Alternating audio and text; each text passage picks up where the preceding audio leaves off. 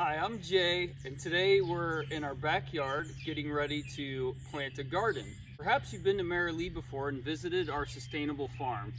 Well, I'm here to hopefully teach you a little bit about how you can be sustainable in your own backyard. This is my daughter Frances, and she's in the third grade. And what are you eating there, Frances? A carrot. A carrot. You like carrots?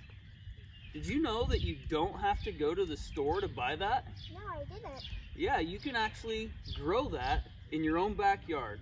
And in fact, many of you might not even have a big yard, but you don't need a big yard to grow a garden.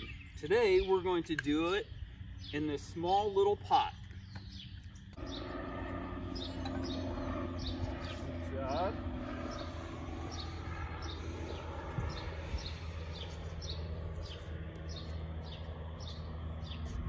Okay, let me get the rest here. A lot of people buy soil in bags when they go to um, plant flower pots, but you can actually make your own soil at home. And how do you do that?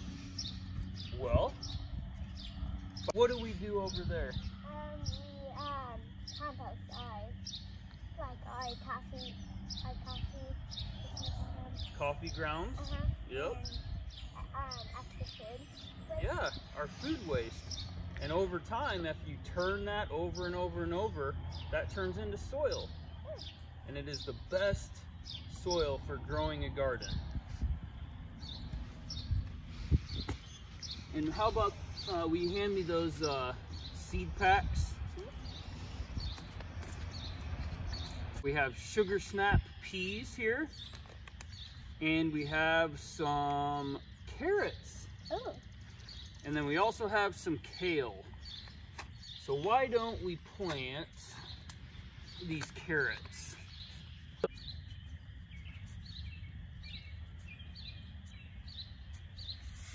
Good.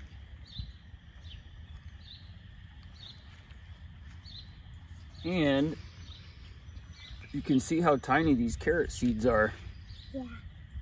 So, if you want to help place these in the row. And so what we're doing, since these seeds are so tiny, Mhm. I'm just kind of rolling them between my fingers and making sure I'm getting the plenty of seed. And when the carrots sprout and uh, and start to fill in, then we'll have to thin them out. So you where you just pull uh, seedlings out so there's space. Because if you have them so tightly packed, um, they won't grow. And what part of the carrot do you eat? Um, the um the The- roots. Yeah, you eat the roots. That's right. Now let's go ahead and cover these up very gently.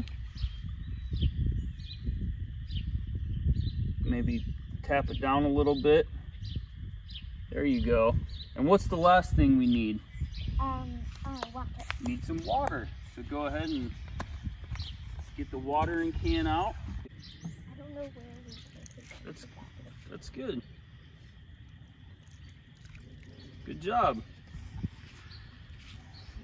And so now, in a month or so, we'll have carrots to eat. We should see these sprouting within a week or so. And what is more sustainable than that?